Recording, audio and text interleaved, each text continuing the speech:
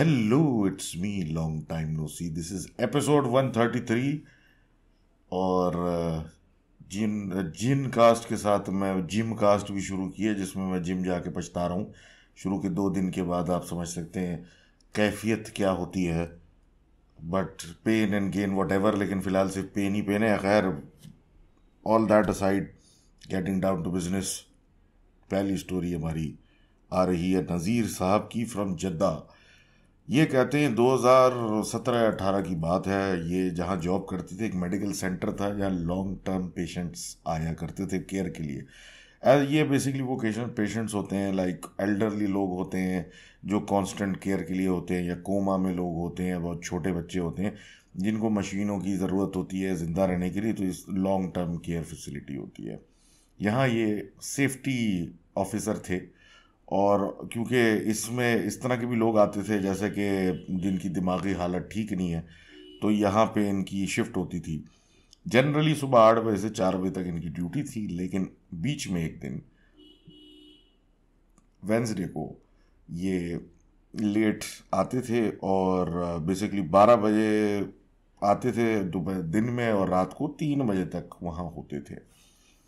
इसकी ख़ास वजह यह भी होती थी कि भाई वो बेसमेंट फ्लोर में ड्रेनेज एरिया था और इस तरह के जो आपको पता ही है मेडिकल वेस्ट जो होता है सारी चीज़ें होती हैं तो बेसमेंट के अंदर ये ड्रेनेज एरिया था तो यहाँ फॉगिंग ट्रीटमेंट होता था, जिसकी वजह से, क्या कहते हैं, बाहर से वेंडर्स आते थे मतलब लोग आते थे और ये काम करके जाते थे। अब रात को जब ये लोग आते थे ये काम करने के लिए तो बीस फायर अलार्म होते थे जो इनको बंद करने पड़ते थे पूरा एक सिस्टम होता है तो जिसकी वजह से ये मतलब लेट रुकते थे रात में जब बुक करके चले आते थे और सिमिलरली अगले दिन, सुबह देर से आते थे रात को तीन बजे तक तो वहीं होते थे तो आठ बजे पहुँचने का कोई जवाज़ नहीं था।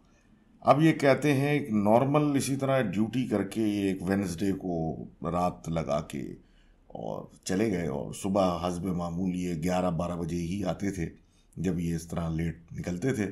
तो इनके जो एक वहाँ पे रिलीजियस अफेयर्स के एक आदमी थे जो मतलब मुर्दे वगैरह डेड बॉडीज़ को डील करते थे तो वो इनको मिले, उनका नाम था शेख खानी और उनसे बातचीत थोड़ी सी हुई तो उन्होंने बोला कि भाई सुबह सवेरे तुम्हें मैंने आवाज़ें भी दी और तुम तो बड़े अजीब गुस्से में थे, या पता नहीं किस चीज़ में थे।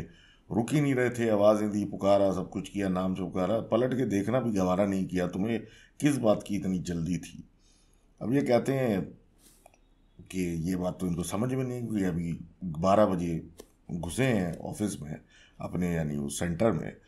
तो ये क्या बातें कर रहे हैं सुबह आठ बजे की? अब पहले ये मज़ाक समझ रहे थे, उसके बाद इन्होंने ज़रा सीरियसली उसको कहा कि मैं अभी ऑफ़िस एंटर हुआ हूँ यहाँ। आपने किसको देख लिया? भाई, क्या बात कर रहे हो? क्यों मज़ाक कर रहे हो? उन साहब ने कहा कि नहीं, मैं मज़ाक नहीं कर रहा, मैं वाकई क्योंकि थोड़े सीरियस किस्म के आदमी थे वो तो संजीदा किस्म के तो उन्होंने फिर बोला कि ऐसी बात नहीं है। तो फिर ये इन्होंने क्लियर कर दिया, बिल्कुल क्लियर कि मैं सुबह नहीं आया था, आपने जो देखा था वो मैं नहीं था। ये तो बात ख़त्म हो गई और ये इंस्टेंस कि इनका हम शक्ल सुबह था, वहाँ मौजूद। लेकिन ये कहते हैं ये ज़मीन जिस जगह पे ये सेंटर बना हुआ है, उसके बारे में बड़ी बड़ी अजीब अजीब अफवाहें कोई कहता कुछ है, कब्रिस्तान था यहाँ पहले या वट तो इस तरह के मामला यहाँ होते रहते हैं। और जब भी ये रात वगैरह का ये राउंड लगाते थे तो इनकी एक अजीब सी फीलिंग आती ज़रूर थी, जैसे इनके पीछे पीछे कोई चलता है। लेकिन बहरहाल एज सच कोई नुकसानदेह चीज़ नहीं हुई। तो thank you for sharing that story आगे बात करते हैं हसन साहब की।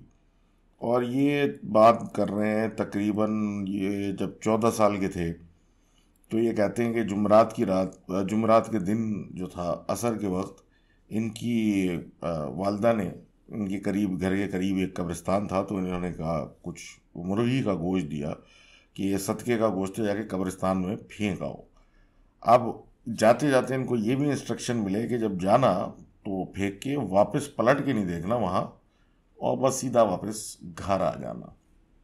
इन्होंने ये सुन लिया और ये चले गए। वे कहते हैं तो चौदह साल के थे। वहाँ गए, सब इस गोश्त को फेंका और थोड़ा सा आगे जाके पलट के इन्होंने देख लिया। वैसे तो कुछ था नहीं देखने को और कुछ भी नहीं था। बहरहाल इस तरह घर चले गए और कहते हैं, एक आध दिन भी गुजर गया। सैटरडे को जल्दी ये सोते थे क्योंकि संडे की सुबह इनका क्रिकेट का सीन होता था आफ्टर फजर। तो ये जल्दी सो गए और नॉर्मल ही था सब। अब कहते हैं ये सोने के बाद रात को अचानक किसी पहर लाइक ढाई तीन बजे किसी वक्त इनकी आँख खुली। अब कहते हैं दरवाज़ा बेडरूम में लेटे हुए हैं बेड पे बिल्कुल सही नॉर्मल सीधा और बेडरूम का जो दरवाज़ा है वो खुला हुआ था। और बाहर सीढ़ियाँ थीं जो ऊपर नीचे उतरने की थी। वो नज़र आ रही थी। अंधेरे में इधर उधर देख रहे थे सब नॉर्मल कि इनकी जब नज़र सीढ़ी पे पड़ी तो कहते हैं कि बाकायदा एक औरत जिसके सफ़ेद बाल थे और वो अजीब तरीके से फैलाए हुए खड़ी हुई थी और इनकी तरफ़ वो देख रही थी।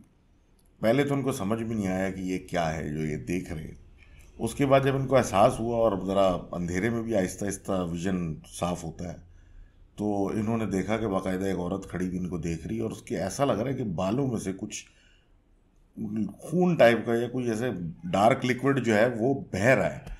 ये बहरहाल देख के उसको शदीद डर गए और इतनी मतलब हालत इनकी बुरी बकौल इनके, ये बेहोश हो गए।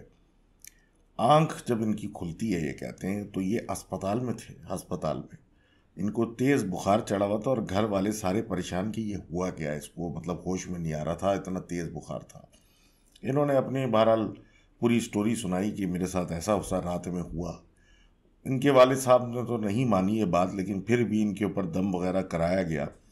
और उसके बाद से अभी भी ये कहते हैं कि कभी कभी रात में सोते वक्त अंधेरे जब मैं अकेला होता हूँ तो कुछ अजीब सी फीलिंग आती है और मैं ऐसा सोच के डर जाता हूँ। और बकौल इनकी अपनी रिटर्न उर्दू के अंदर कि ये अगर तिलावत पाक, कुरान पाक ना करें और आयतें वगैरह ना पढ़ें तो शायद ये ज़िंदा ना बचते। तो thank you very much for sharing that story आगे बात करते हैं उसामा साहब की, जो कि 2016 जून की बात कर रहे हैं। और ये और इनके चार कज़न नारायण कागान टूर पे मुल्तान से निकले। अब ये कहते हैं ये डायरेक्ट पहले अहमदाबाद पहुँचे और फिर उसके बाद वहाँ से आगे निकले तो नारायण पहुँचते पहुँचते इनको काफ़ी टाइम लग गया और काफ़ी मतलब रात हो गई थी काफ़ी। होटल का रूम मिलना भी थोड़ा मुश्किल था तो एक कोई होटल था जिसने इनको बड़ी मिन्नत समाजत करने के बाद इनको एक रूम दिया जो बेसिकली होटल से हट के पहाड़ी फेसिंग एक कंटेन बकौल इनके कंटेनर टाइप रूम था, जिसका दरवाज़ा भी ऐसा था जैसे कि वो पतले लोहे का या वो टीन टाइप का दरवाज़ा होता है, इस तरह का वो और एस्ट्रो छत जो होती है, इसी तरह की, क्या कहते हैं, टीन की या जो कोरिगेटेड शीट्स वगैरह टाइप की होती है, वैसी। अब ये कह रहे हैं जी, हम वहाँ बैठ गए सेटल डाउन हो गए, थक गए थे। अब इनकी चार कज़न जो इनके साथ गए थे, वो चारों सिगरेट पीते थे और वो कमरे से बाहर खड़े हो गए सिगरेट पीने के लिए। अब ये कह रहे हैं, मैं बेड पे थक चुका था, लेटा हुआ था। और मेरा इस चीज़ में कोई इंटरेस्ट नहीं था कि एकदम से लाइट चली गई और दरवाज़ा जो था इस दर मतलब वो टीन का, इनके कमरे का, उसको किसी ने पीटना शुरू कर दी बाकायदा नॉकिंग कर रहा है। पहले तो ये इग्नोर करते रहे कि कज़न इनको डरा रहे हैं, सारों के सारे बाहर जो बैठे लेकिन उसके बाद ये कह रहे हैं कि ये मज़ाक भी, ये बुरा लगने लगा और इन्हें पहले आवाज़ दी कि भाई क्या मज़ाक है। उसके बाद गुस्से में जाके दरवाज़ा ही खोल दिया। अब कहते हैं जब दरवाज़ा खोला तो बाहर कोई भी नहीं था। और थोड़ी देर के बाद देखा कि इनके चारों कज़न दूर से चलते हुए आ रहे हैं। इन्होंने उनको ज़रा सुनाई वगैरह और कहते हैं, वो कज़न्स ने भी बोला कि भाई, हम तो फला फला जगह गए थे सिगरेट पीने, हम यहाँ खड़े हुए नहीं थे। तुम क्या बात करो ये बात बहरहाल ख़त्म हुई और ये कमरे में गए और इनको अजीब सी भारी तबीयत लगने लगी। ये कहते हैं कि तबीयत इतनी ख़राब हो गई कि मुझे बुखार चढ़ गया और इसी हालत में ये लेटे हुए थे कि दोबारा से नॉकिंग शुरू हो गई कमरे के दरवाजे पे। अब चारों कज़न भी अंदर हैं, ये भी अंदर हैं, पाँच लोग अंदर हैं और कोई दरवाज़ा पीट रहा है। ये पूछें तो कोई जवाब ना है और नॉकिंग मुस्तकिल चलती रहे। नीचे जो दरार है थोड़ी सी दरवाजे के नीचे, उसमें बाकायदा लोगों की चहलकदमी नज़र आए और जवाब कोई नहीं, आवाज़ कोई नहीं, सिर्फ़ दरवाज़ा पीटे जा रहा है कोई। ये कह रहे हैं, जी, अजीब हालत सबकी हो गई और डर के मारे एक साथ चिपक के लेटे में और अपने अपने ऊपर चादरें डाल के बस इग्नोर करने की कोशिश की। कहते हैं, जनाब, थोड़ी देर के बाद आवाज़ तो ख़त्म हुई, लेकिन फिर एक आहिस्ता आहिस्ता आग भी लग गई जब आवाज़ ख़त्म हुई। लेकिन अराउंड तीन बजे एक चादर एक कज़न उठे क्योंकि उनकी चादर किसी ने उन से खींच के उतार ली। वो समझे कि किसी बराबर वाले ने उनको कुछ उठाने की कोशिश की है डराने की कोशिश की है। लेकिन जब बराबर वाला उठा, उसने बताया कि मैंने ऐसा कुछ नहीं किया और ये वहम और ये सारी बातें चल रही थी, कि थोड़ी देर बाद वो चादर वगैरह उड़ के दोबारा जब अपनी लेटे तो फिर किसी ने खींच ली चादर और ये भी उड़ गए, जो कि लेट गए थे, तबीयत ख़राब होने की वजह से। अब ये बकौल इनके कि अजीब, इनकी हालत। पूरे पसीने पसीने में शराबोर लेकिन बहरहाल किसी तरीके से बैठे बैठे रात इन्हीं ने गुजारी। अब जनाब ये जगह छोड़ के पूरी रात नॉकिंग सुन के छोड़ के चले तो गए, लेकिन ये कहते हैं आगे हम अपने ट्रिप पे बाबू सर टॉप वगैरह वगैरह सब गए। लेकिन रोज़ रात में अजीब सी इनकी तबीयत होती थी और जैसे बुखार चढ़ता था और उतरता था, लेकिन सिर्फ़ रात में। तो that was in story of Usama and thank you very much for sharing that experience इसके बाद ये कहते हैं कि ये कभी वहाँ शायद दोबारा गए भी नहीं। अगली स्टोरी आ रही है। अनस साहब की। अनस साहब लिखते हैं कि ये लाहौर के रहने वाले हैं और ईद उल अजहा ईद उल अजहा के पास चाँद रात की ही उसकी और अगले दिन ईद थी। तो ये 2022 की ही बात कर रहे हैं। तो ये कहते हैं कि ये स्नूकर खेलने एक जगह गए हुए थे, जिसका, जो कि बेसमेंट में थी और वहीं पे पार्किंग थी। तो रात को दो बजे जब वहाँ से निकले अपने दोस्त के साथ तो काफ़ी अंधेरा था वहाँ और अजीब सा माहौल था। बहरहाल इनको तो उससे कोई परवाह नहीं थी, लेकिन इनको कुछ फील हो रहा था, कुछ अजीब सा इनके साथ मतलब साथ चल रहा है, कुछ हो रहा है। एक एनर्जी बकौल इनके फील हो रही थी, लेकिन इन्हें अपने दोस्त को नहीं बताया और ये बहरहाल सब दोनों दोस्त निकल गए। ये अपने मोहल्ले पहुँचे तो घर के बाहर इनके बकरा वगैरह बंधा हुआ था और चारपाई पे और भी दोस्त बैठे थे मोहल्ले के। ये वहाँ जाके बैठ गए और बातें बातें अपनी शुरू हो गई। अब कहते हैं, जब जाके वहाँ बैठे तो पहले जानवरों ने ऐसे रिएक्ट किया, जैसे कि वो डर जाते हैं तो वो इनके बैठने से। ऑड लगा इनको, लेकिन कोई इतनी बड़ी बात नहीं थी जिस पर ज़्यादा सोचा जाए। अब ये कहते हैं थोड़ी सी वक्त गुजरा, बातचीत शुरू फिर शुरू हो गए, और फिर एक दोस्त जो था, वो बेसिकली एक कोक की बोतल लाया हुआ था, और साथ में एक गिलास था, वो बारी बारी सब पी रहे थे, अपनी बारी मतलब आती थी, कोक निकालते थे, गिलास से पी जाते थे। इनकी जब बारी आई, इन्होंने गिलास पकड़ा और कोक उनको देने लगे तो बकौल इनके गिलास का जो बेस होता है, वो टूट गया। Out of the blue like कोई समझ से बाहर मतलब नीचे से गिलास, जो सब जिससे पीते आ रहे हैं, वो हाथ में आती, नीचे उसका बेस टूट गया।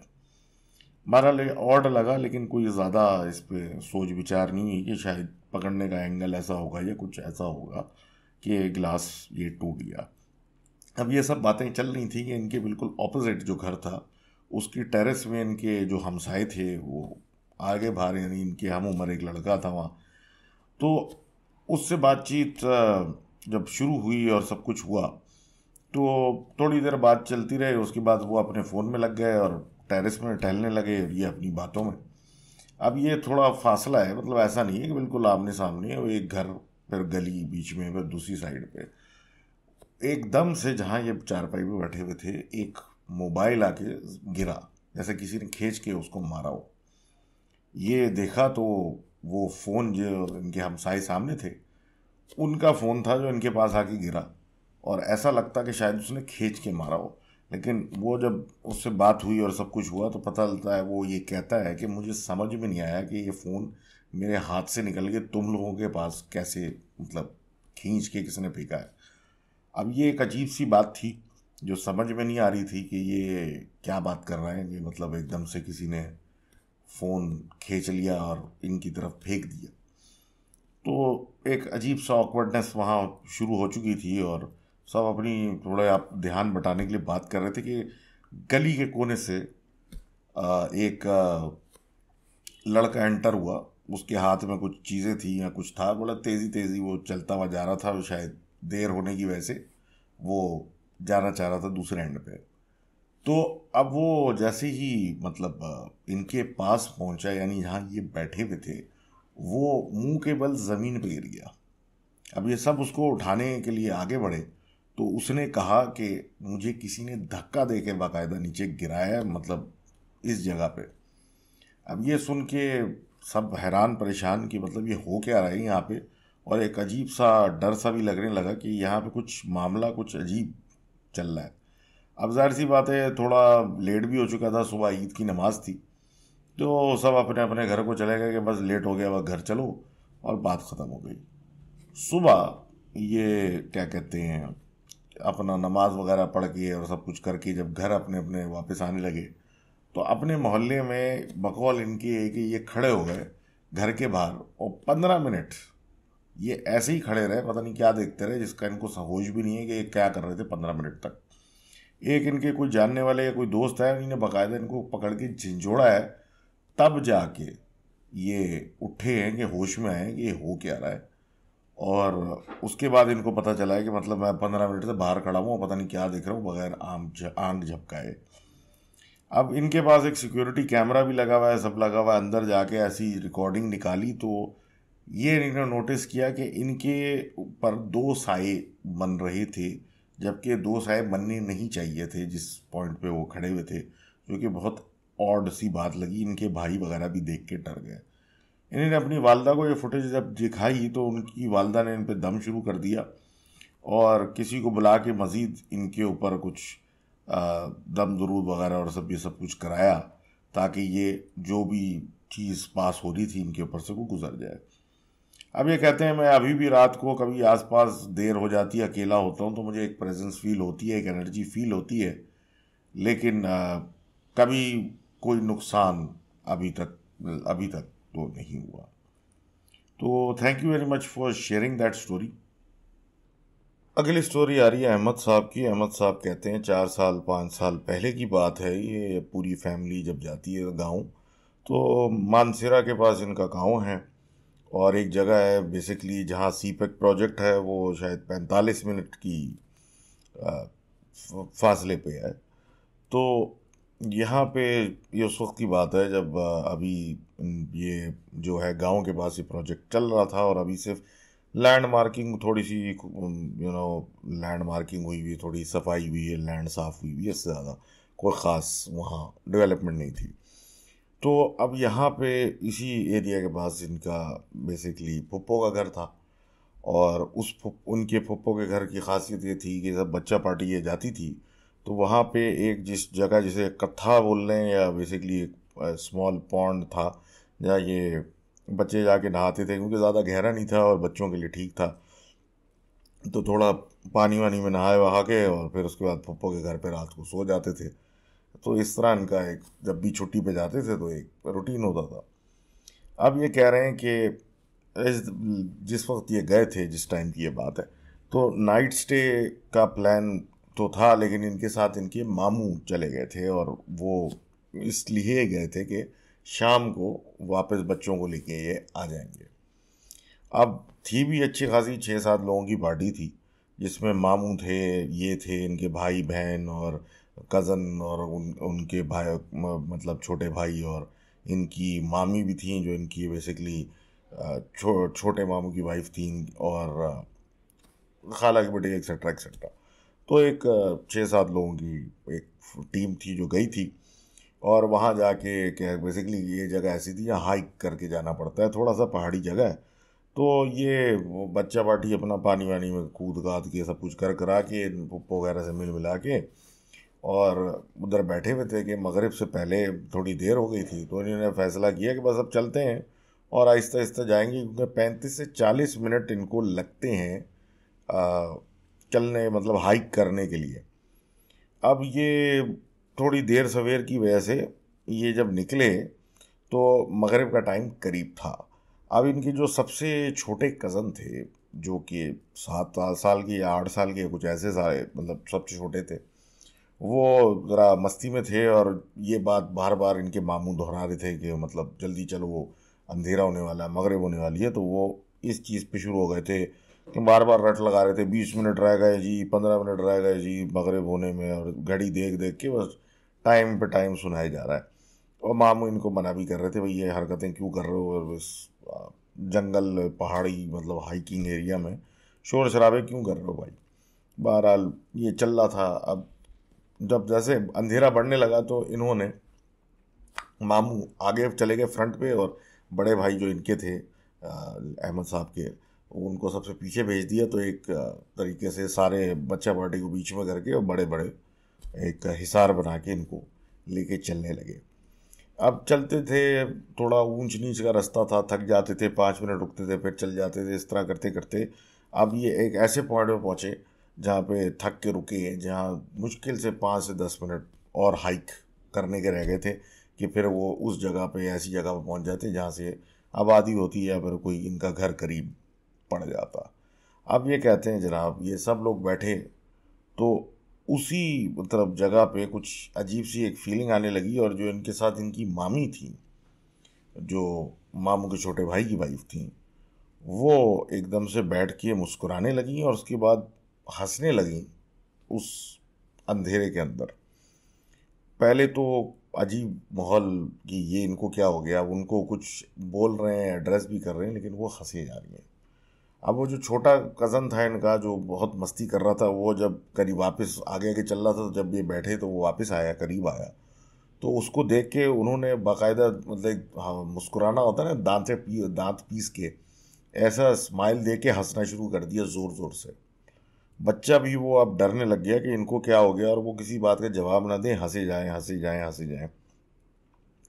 अब जनाब मामू ने जो इनके बड़े थे साथ में उनको कुछ दिमाग में आया और उन्होंने जाके उन खातून का यानी मामी का आ, कलाई से हाथ पकड़ लिया।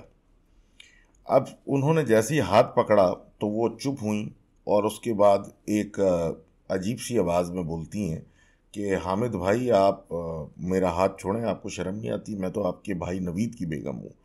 और इन्होंने कुछ नहीं बोला बोला कि बस तुम घर चलो, घर जाके सारी बातें तुमसे अब सही से जवाब दिया जाएगा। अब जब ये बात उन्होंने की तो उन्होंने दोबारा हँसते हुए बोली, एक अजीब नॉर्मल, एक हँसते हुए लेकिन नॉर्मल एक आवाज़ में बोला कि आप घर तो मतलब ले जाएँगे, लेकिन एक दफ़ा हाथ आप छोड़ दें। अब ये सब बातें वो करते रहे और उन्होंने फिर सबको बोला, उठो और घसीटना शुरू किया इनको और इनको लेके चलने लगे। अब ये उनको लेके चल रहे हैं, बाकी बच्चे भी डरे हुए कि ये किस तरह की आवाज़ में बात कर रही हैं और किस तरीके से हंसे जा रही हैं और क्या हो रहा है। और मामू कस के उनका हाथ पकड़ के कुछ ना कुछ पढ़े जा रहे हैं और कुछ ना कुछ बोले जा रहे हैं और उनको लिए जाए जा रहे हैं। वो कभी कुछ बोलती हैं, हामिद भाई कभी कुछ बोलती हैं और सब चले आ रहा है। कभी रास्ते में बोलती हैं, मैं ठीक हो गई हूँ, आप मेरा हाथ छोड़ दें, मेरा हाथ दर्द कर रहा है। फिर वो कहते हैं, मैं छोड़ दूँगा थोड़ा सा आगे चलना है और और फिर वो कुछ और बोलने लग जाएँ। इस तरह की वो बातें करें, करती चली जाएँ कि बस हाथ छोड़ दो और वो आयत, आयतें पढ़े ही चले जा रहे हैं। ये करते करते वो इनको घर में लेके गए, कमरे में बिठाया और अपनी जो है, क्या कहते हैं, उनकी खाला थी, उनको बोला। कि इन पे नज़र रखें, इनको बिठा के रखें, मैं वज़ू करके आता हूँ। जब ये वज़ू करने गए तो उन्होंने सारे बच्चों को उस कमरे से बाहर निकाल दिया और बोला कि सारे इधर ही घर के अंदर रहना बाहर नहीं जाना।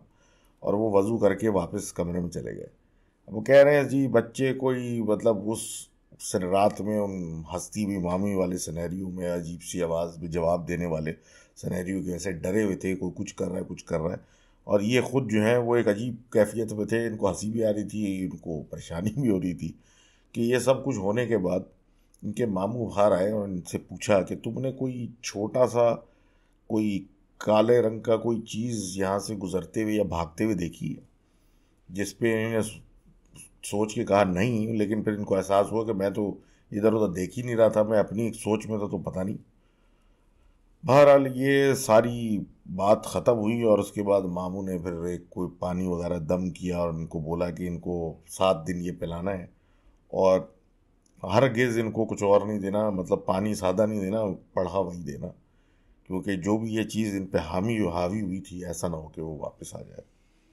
तो ये कहते हैं, ये और भी कुछ बातें हुई, लेकिन ये उस वक्त इनको रिकॉल नहीं हो रहा, थोड़ा वक्त गुजर चुका है काफ़ी। लेकिन ये एक अजीब सा वाक़ है जो इनको याद है। तो thank you very much for sharing that story और उसके बाद बात करते हैं उस्मान साहब की, जो कि सात साल पुरानी कहानी सुना रहे हैं। अब ये कहते हैं कि इनके घर से तीन घर छोड़ के इनकी नानी का घर था। और ये वहाँ सिर्फ़ खाना खाने जाते थे। क्यों?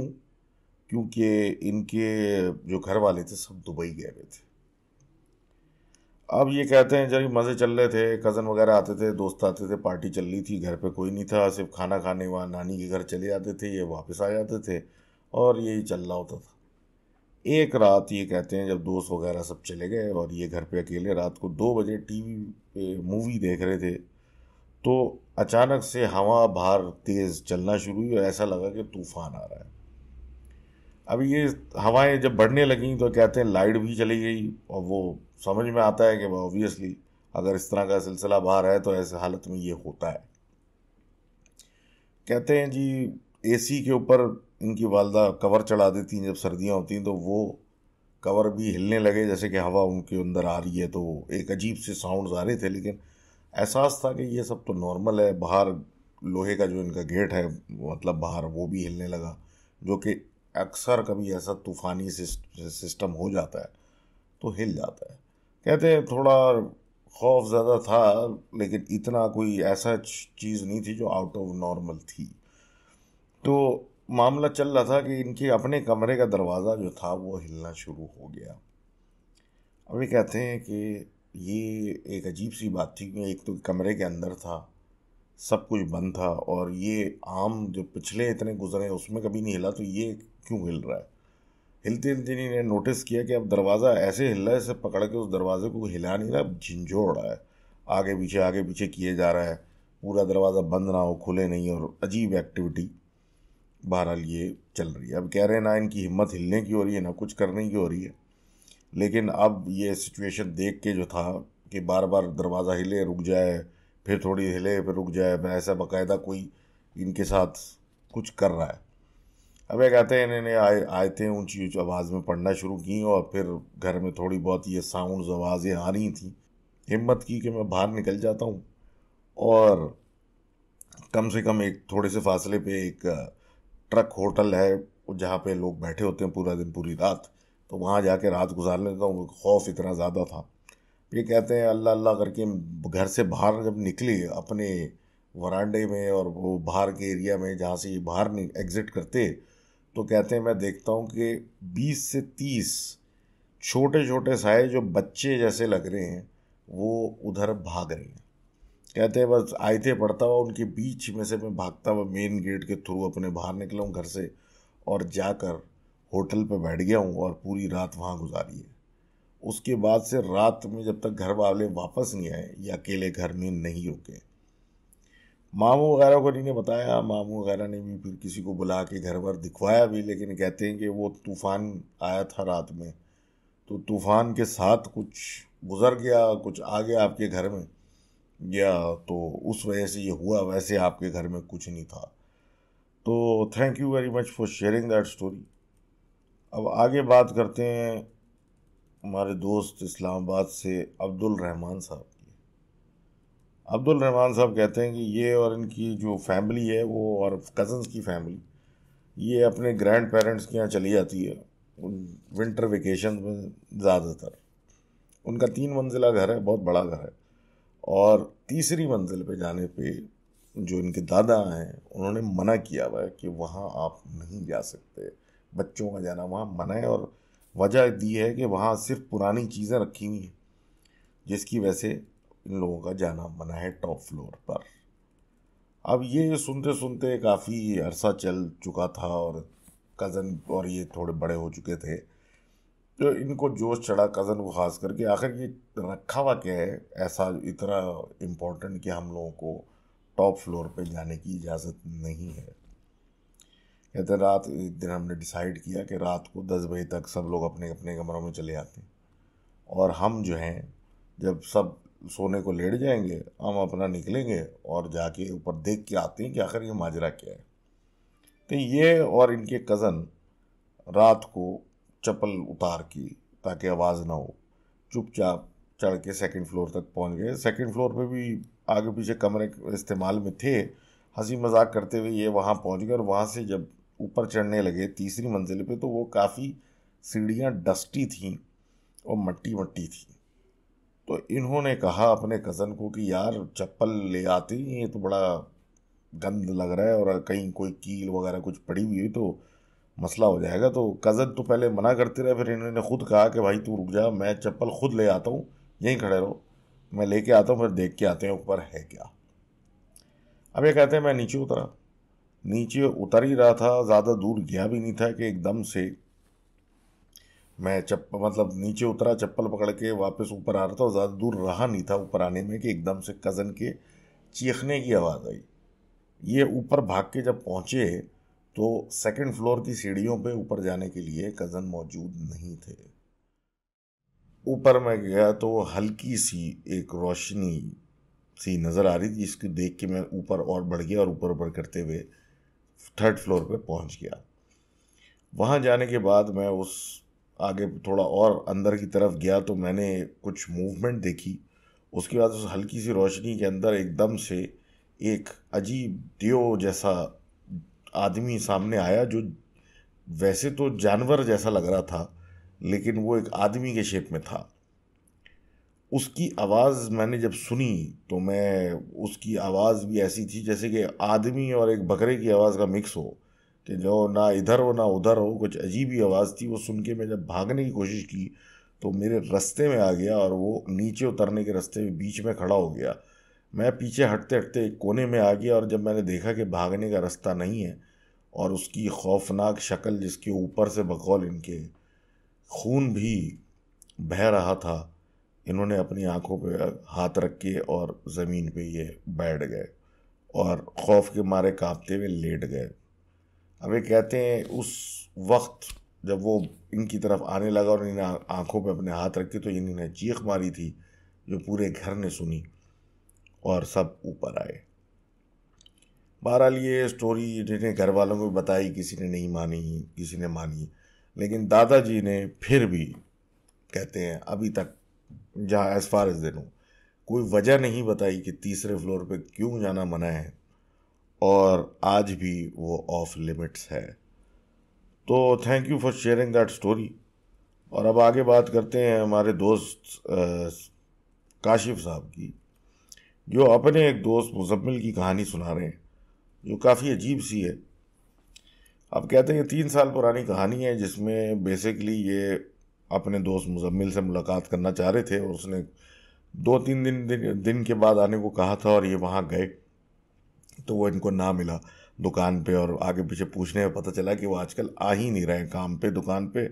और उसके एक हफ़्ते के बाद जब उनसे मुलाकात हुई तो उन्होंने बताया कि इनकी जो बहनोई हैं उनका एक्सीडेंट हुआ है और वो कोमा में चले गए। बहुत अफसोस हुआ इनको सुन के और जब ज़्यादा इंक्वायरी की तो पता चला कि तीस या चालीस पे मुश्किल से स्पीड पे ये जा रहे थे, अपने बच्चे को बैठा के अपने, यानी इनके भांजे को मुजम्मिल साहब के। और एक स्पीड ब्रेकर आया जिसके ऊपर उन्होंने मोटरसाइकिल स्लो की और बस स्लो करते ही बस वो गिर गए। और गिरने के बाद बच्चा जो कि उनका छोटा था, वो बिल्कुल सही सलामत वहीं खड़ा रहा और बाप जो था बेहोश हो गया और फिर एंबुलेंस वगैरह आई तो वो कोमा में थे। एक अजीब सा इतफाक़ था कि मतलब ऐसी कोई चोट भी नहीं आई मतलब एक मुश्किल से खड़ी हुई बाइक से एक बंदा गिरे तो कितनी चोट आ जाएगी। उसके ऊपर वो आदमी कोमा में चला गया और पूरा घर परेशान और सब कुछ।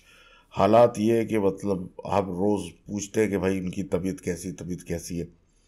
अब ये करते करते कुछ दिन के बाद ये अपने दोस्त मुजम्मिल के साथ उन हॉस्पिटल की तरफ़ चले गए, जहाँ देखा कि अब वो आदमी जो है वो मतलब बहुत ही सीरियस कंडीशन में लगता है और कोमा में और इस तरह के हालात।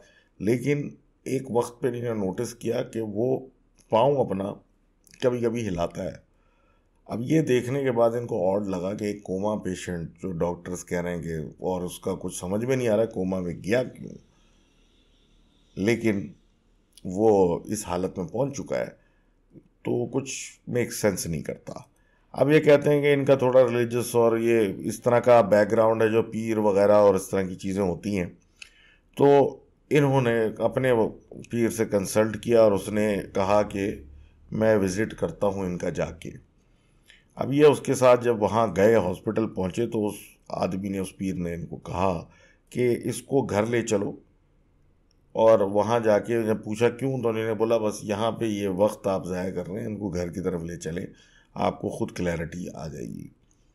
बहरहाल, बड़े लड़ झगड़ के हॉस्पिटल वालों से और एक होता है लीव अगेंस्ट मेडिकल क्या कहते हैं लामा होता है, क्या होता है एडवाइस वो लेने के बाद ये वहाँ से इनको ले के जब घर की तरफ़ पहुँचने लगी, जो ये आदमी बेहोश था सडनली घर के पास पहुँचते ही वो उड़ गया और उसने कह, कहना शुरू कर दिया कि मुझे यहाँ नहीं जाना, मुझे वापस हॉस्पिटल लेके चलो। अब ये भी एक अजीब सी बात थी कि एक आदमी तो हॉस्पिटल में सो कॉल्ड कोमा में या बेहोश पड़ा हुआ था, होश में नहीं आ रहा था, वो अपने घर के बाहर होश में आ गया है और वो अं-, अंदर जाने को तैयार नहीं है।